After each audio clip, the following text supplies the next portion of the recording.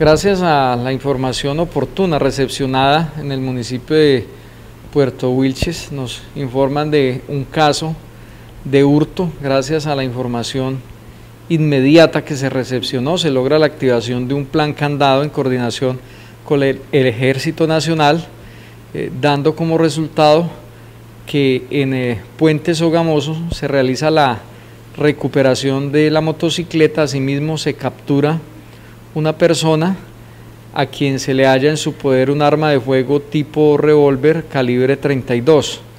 Esta persona eh, deja a disposición de autoridad competente por los delitos de hurto y porte ilegal de armas de fuego. A la espera de los resultados donde un juez de la República, después de las diferentes audiencias, determinará la situación jurídica de esta persona. Importante el tema de la información oportunamente y podemos dar eh, unos resultados importantes en coordinación con el Ejército Nacional.